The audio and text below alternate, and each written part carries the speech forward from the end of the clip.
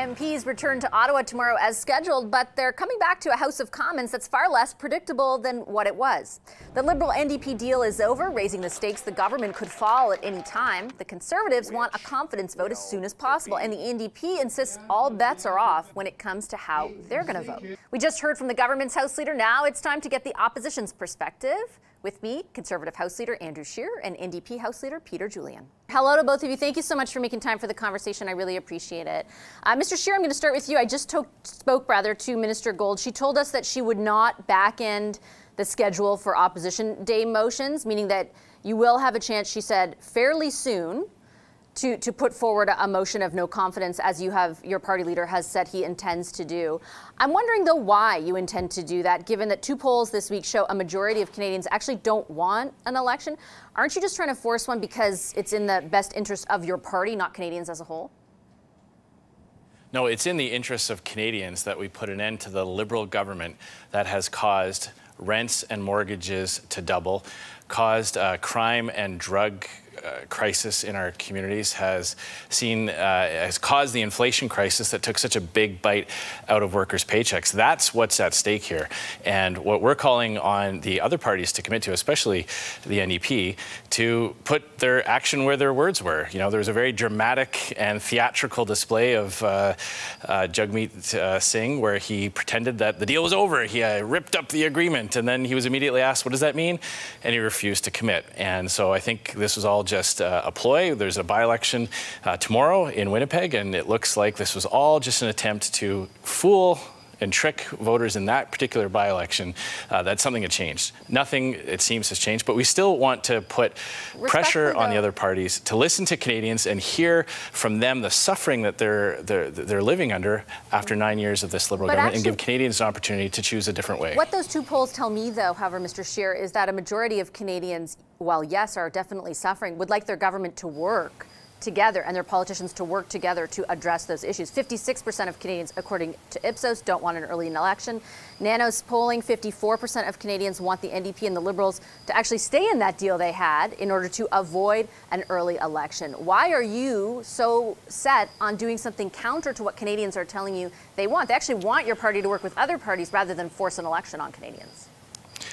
Well, it's because all three of the other parties, the Liberals and their uh, allies in the NDP and the Bloc, aren't listening to Canadians when Canadians say they want to put an end to the carbon tax. Uh, polling shows that a vast majority of Canadians don't want to pay the carbon tax. They don't want to have to pay higher prices, higher home utility costs, higher shipping costs. These other parties are ignoring Canadians on that. They're ignoring Canadians when, when Canadians uh, respond to polling questions about what's causing the crime wave uh, across the country in our communities. They don't want taxpayer funded hard drugs distributed in our communities. The Liberals and the NDP continue to push that and, uh, and defend those policies. Uh, they don't want the government to keep rewarding gatekeepers who prevent new homes from coming onto the market. So it's because this government is doubling down on its failed policies that have driven up prices, pushed people out of their homes, made our communities less safe, that we're saying, okay, well, if you're not going to listen to Canadians on that side of things, then let's at least have an election. Let's have a carbon tax election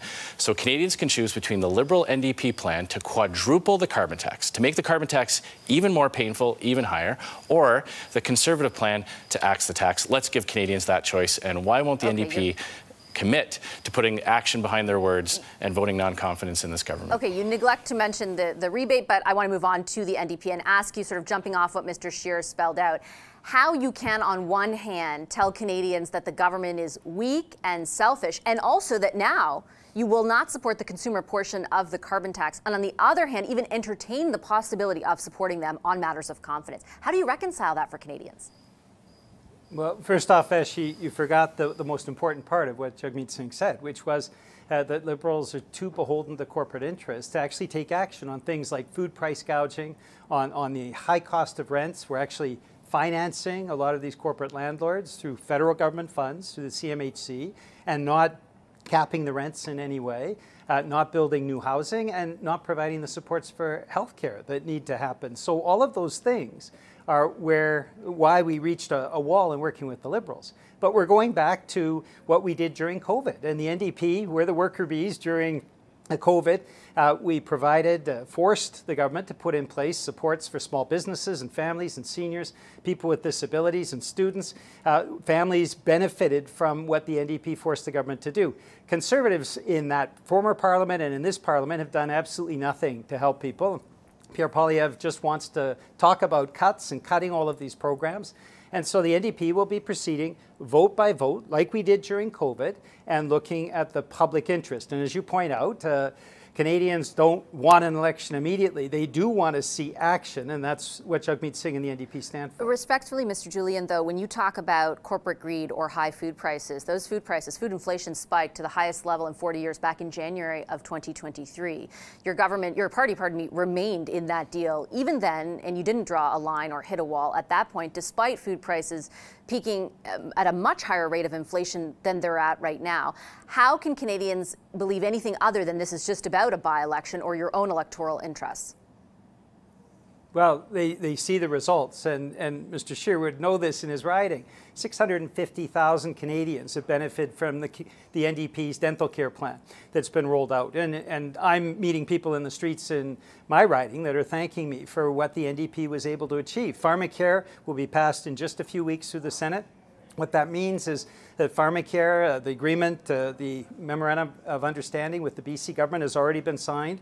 Uh, so people with diabetes, are millions of Canadians that suffer from diabetes. They pay sometimes 1,000 or $1,500 every month for their diabetes medication and devices. Families are looking uh, for, for an ability to pay for contraception. All of these things are covered through the NDP's pharmacare plan. So these are all things that are crucial. Canadians have seen the results. Yes, we've been pushing on food price gouging. No, the Liberals and Conservatives uh, don't want to challenge in any way uh, corporate CEOs on this, but the but reality is, if you look that. at the polls, mo most, most, mo most Canadians believe that the food price gouging that we're seeing is, and the record profits that we're seeing from these same grocery giants uh, are connected and that the, federal government should be taking action. Conservatives and Liberals believe differently. The NDP is going to be pushing hard this fall uh, so that we actually do take action uh, against that. I know both your time's limited. I just have time for one question for each of you. Mr. Scheer, I want to pick up actually where Mr. Julian left off. Uh, and in particular, sort of uh, uh, his argument on dental care as it relates to what the Liberals and the NDP are saying very specifically about what a conservative government would mean. The removal of key programs like that one. Can you uh, unequivocally tell Canadians, would a conservative government tell those 650,000 Canadians, for example, who have already accessed that dental care program that they no longer can? Yeah, first of all, the NDP never want to talk about government greed and government waste. And when we talk about uh, fixing the budget so that inflation and interest rates can come down, uh, that's what we're focusing on. $35 billion to the infrastructure bank that didn't build a single project, hundreds of millions of dollars more to high-priced consultants. They always like to bring up these, these scare tactics and ignore the waste and corruption that these so-called worker bees, who seem to have experienced uh, colony collapse disorder this summer because none of them wanted to show up and investigate Liberal corruption and waste. It was very, very difficult to get them to actually work over this summer.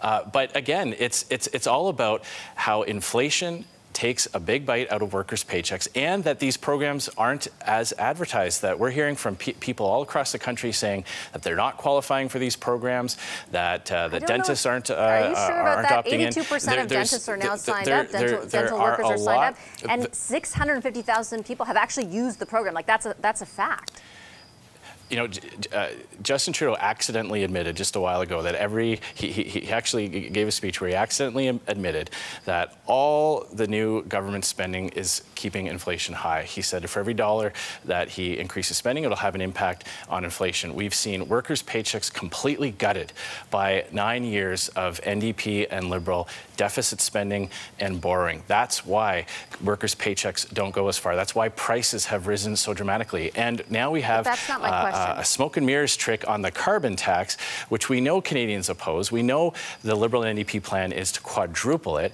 The Conservative plan is to axe it. So when Canadians are looking at how they're actually going to deal with the cost of living crisis, it's only the Conservative Party that has a plan to protect the value of the dollar they work so hard to earn, get government uh, waste and corruption out of Ottawa and restore the value of Canadians' tax dollar. Okay, I just point out that my question was whether or not those 650,000 Canadians would no longer have access to dental we'll, care we'll under a, conservative we'll have a fully government. comprehensive that, that, plan in time for the next election. Okay, that's not an answer. Uh, final question to you, uh, Mr. Julian. If your party loses uh, the, you know, what is colloquially called, colloquially, pardon me, called the Dan, the Blaikie family seat in Winnipeg, where you are right now, should Mr. Singh remain as leader of your party? Uh, well, first I'm just going to come back to your question you asked to Mr. Scheer. The, the, Conservatives are refusing to be honest with Canadians that they would cut the dental care that so many people are using. They would uh, cut pharmacare and they would Corruption. cut health care as they did when they were in government. So, respectfully, uh, Mr. Julian, your party won't put forward a climate plan. We don't even know what you do on the carbon tax. Well, you're, I'll come back to that in a moment. But the reality is, uh, Conservatives represent cuts. Now, in terms of the by-elections, we've got two great candidates. Leila uh, Dance in Elmwood Transcona is doing a magnificent job. Craig Sauvé in LaSalle-Émard Verdun is a terrific candidate as well. They're working hard. They're, they will be for, for formidable members of parliament representing their constituents and fighting hard on their behalf in Ottawa. Uh, we, we are confident, and, but we're not taking anything for granted. We're working very, very hard. And the reality is now we've seen in the polls, uh, Mr. Poilievre's uh, support is, is waning, it's softening. The, the, the leader now with the, the largest, uh, the highest approval level in the country is Jagmeet Singh. And the, Your the party, party that has is the biggest universe. points behind the Conservatives. First, that, and if, if I may finish, the, the largest universe, first and second choices, is the NDP. About 50% of Canadians have the NDP as their first or second choice. Obviously, we have work to do to convert those second choices into first choices. But I, I mentioned uh, the Winnipeg North by-election. You'll recall in 2011, we lost uh, a seat that had been NDP for decades in Winnipeg North. That was a few weeks before the big breakthrough of the Orange Wave in 2011 when we became official opposition. So in brief, uh, we're confident, but working hard in both by-elections. Really but we don't see a, a, the results of the Winnipeg North by-election back in 2011 show that that doesn't stop the overall momentum that people are seeing across the country so for Jagmeet Singh and the NDP. You actually believe there's momentum for Jagmeet Singh? With great respect, we've seen in the last year the Conservatives climb to a 20-point lead over the Liberals and an even bigger lead over the NDP, which has not been able to capitalize on any of the Liberals' failing fortunes. Why is that not an indictment of Mr. Singh's leadership? Again, the, the leader that has the, the highest approval level in Canada right now is Jagmeet Singh. The party that has and the largest universe seats. of first and second choices is the NDP. So we'll see how that plays out on Monday, and I'm sure you'll have us back. I will. You'll be asking questions about, about the by-elections, but we're yeah. working hard. We're not taking anything for granted and uh, we'll continue to work hard for Canadians. Okay, we will see you both tomorrow back in the House of Commons. I appreciate you making the time for the conversation. Andrew Scheer, the Conservatives House Leader, and Peter Julian, the NDP's House Leader.